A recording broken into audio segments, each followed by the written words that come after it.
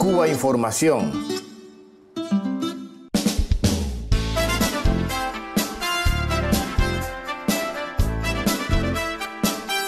Recordemos el famoso caso Dreyfus. A finales del siglo XIX, Alfred Dreyfus, capitán del ejército francés de origen judío, fue condenado a cadena perpetua por espionaje tras una brutal campaña antisemita de la prensa francesa.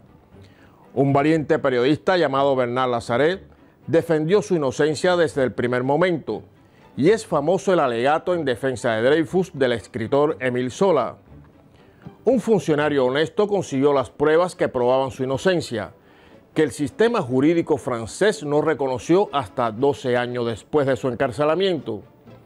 Es un caso similar al de los cinco cubanos detenidos en 1998, condenados tras una brutal campaña de los grandes medios de comunicación de Miami por cargos como conspiración para el espionaje, conspiración contra la seguridad de Estados Unidos y conspiración para cometer asesinato. Jamás fue probado ninguno de esos cargos, dado que su labor no fue infiltrar sedes estatales norteamericanas, sino organizaciones terroristas de Miami, abortando no pocos atentados contra Cuba.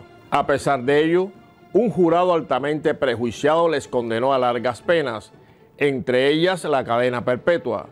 La diferencia principal en este caso es que no ha surgido un periodista como Bernard Lazaret que consiga romper el enorme muro de censura de la prensa corporativa norteamericana.